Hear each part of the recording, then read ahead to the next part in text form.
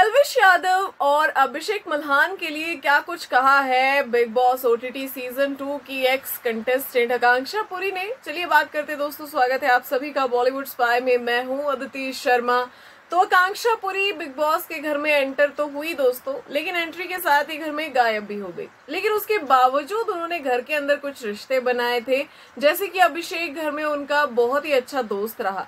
और बाहर आने के बाद भी वो अभिषेक को सपोर्ट करती नज़र आई।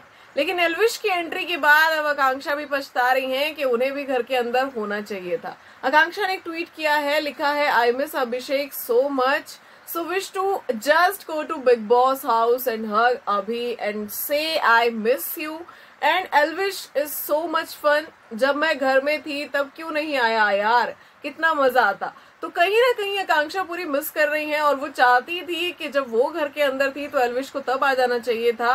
तो शायद वहाँ पर और फन होता। शायद जो है आकांक्षा पूरी में भी थोड़ी और एनर्जी नज़र आती। आप सभी को क्या है इस पर कहना? कमेंट्स में ज़रूर बताइए। मिलते हैं नेक्स्ट वीडियो में।